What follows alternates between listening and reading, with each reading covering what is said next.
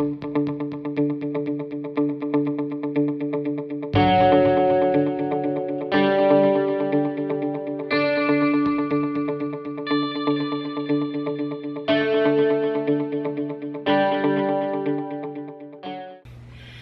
it's T with TeaQuilts. Welcome back to my channel. Today I am doing a works in progress video. I have a challenge with my quilt guild that we are to work on works in progress or UFOs throughout the year. My small group is starting July through December of 2018 so it will go for about a year and a half. And then my large guild is actually doing it for about 10 to 11 months.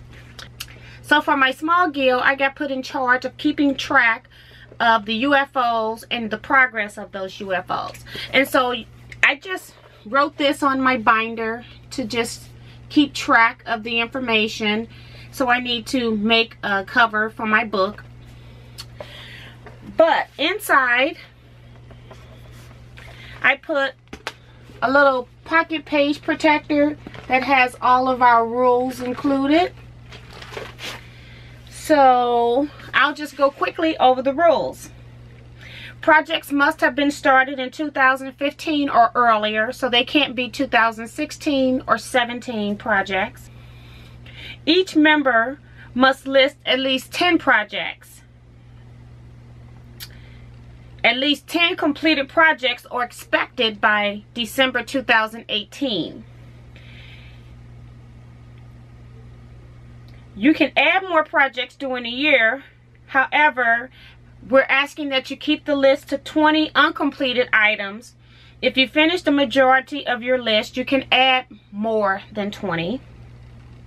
If adding more items, asking that they email me a photo and give me the various steps of what needs to be done next. Each member is paying $5 to the kitty and we are going to use that money to buy prizes so at the end of December we'll be having a drawing. How we're going to do the drawing is that we're going to give you a credit for every step that you complete in a project. So if you have made all of your blocks if you have sewn a completed top if you have your borders added if the top is quilted and if you add the binding. And we did not do one for a label because you should, if you got that far, you should already have your label completed. And then, as I said, we'll have the drawing in December 2018. So in addition to that, I have taken each person's sheet with their projects. I made this in Excel so that I can check off. Red area is where the UFO started. So they don't get any credit for that. And then the open fields, I will be keeping track of those. And at the end, they'll get a ticket for every space they fill. In addition to that, and I'm just going to show you my page. I then went into Word and I made a list for everybody with the photo and the starting point of their UFOs. And so that's what I'm here for today. I am actually going to show you the projects that I am planning to work on for next year. I have 18 items on my list at this point and I will be putting photos over here as I talk about these projects and then if I have a video link, I'll add a, I, the little information where the I box will drop down. I'll put a link to the video if I have a video on that particular project. My first project is Judy L's Memorial Day Patriotic Quilt. This quilt was started, I think, in like 2010.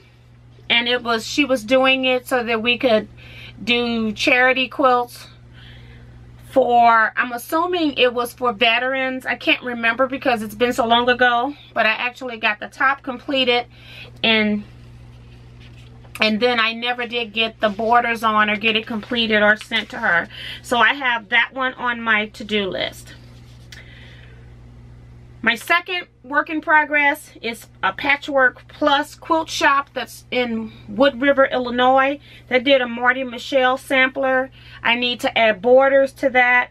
It was made with those Marti Michell little small templates. And I will tell you that I don't enjoy the Marti Michell templates. Some of them are so tiny that I feel like I'm going to cut my hand. But I do love the quilt top and the blocks you can make with them. At some point, I just started substituting and just cutting my pieces with the rotary cutter and, and not using the templates at all. My third one is the Racing Car Stack and Whack. I've had this one out there for a while and I just want to get it done. It's so pretty. I love the colors.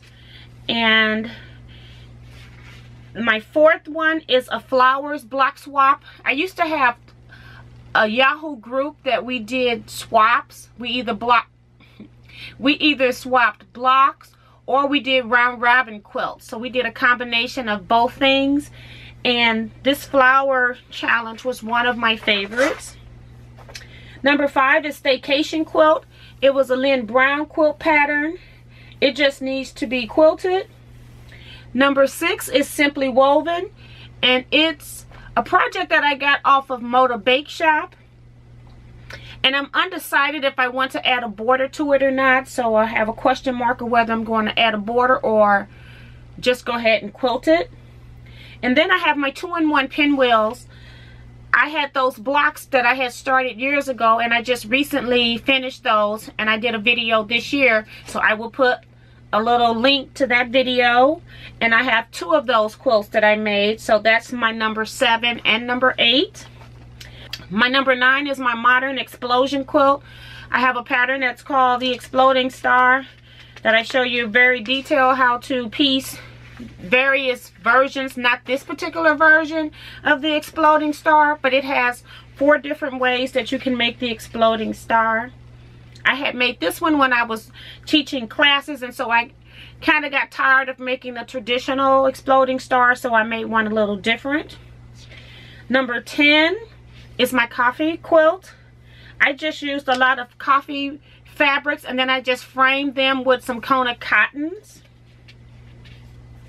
Number 11 is a zigzag quilt from a jelly roll that I actually purchased from Walmart.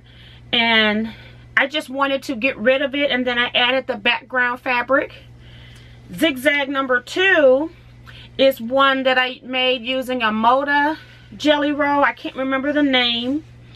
And on that one, it was one of those jelly rolls where you have two of the same fabric strips.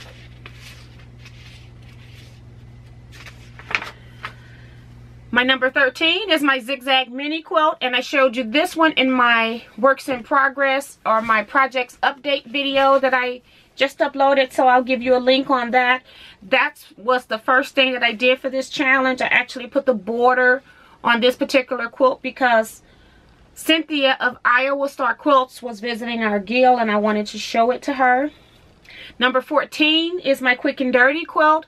I also showed you a video of me doing feathers and I completed that quilt so I will put a link to that up above. I'm getting credit for that as well.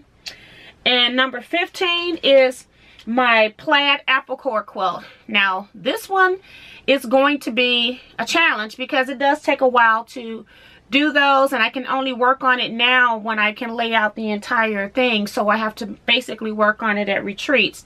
But I added it to my list because I really wanted to give myself a challenge on completing something. Number 16 is my Christmas scrap quilt. I worked on this quilt many, many years ago. I actually laid it out at work in one of our conference room many, many years ago. And I got all the rolls labeled and haven't sewed a thing together. So I want to get this top completed. And then number 17 is a calendar year quilt.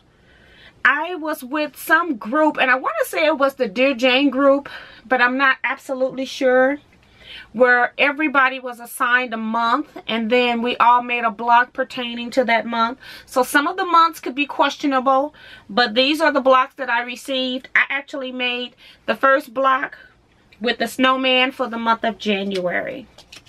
And then my last UFO is Let Freedom Ring. And I need to take out the quilting on this. It's been sitting for quilting for quite a while. When my Singer sewing machine decided to go out of, get out of tension, I was quilting this quilt and so my tension is pretty bad. I had uh, quilted the inside center of the quilt so I am going to remove all of that quilting and now since I have the long arm I will go ahead and just put that on my long arm machine. Now I have a book that has at least 80 different projects in it but I didn't get permission from the girls to show you their projects. So if you're interested in seeing more works in progress slash UFOs, let me know in the comment section and I will check with them to see if it's okay for me to list their projects. So that's it for this video and I will see you next time. Bye-bye.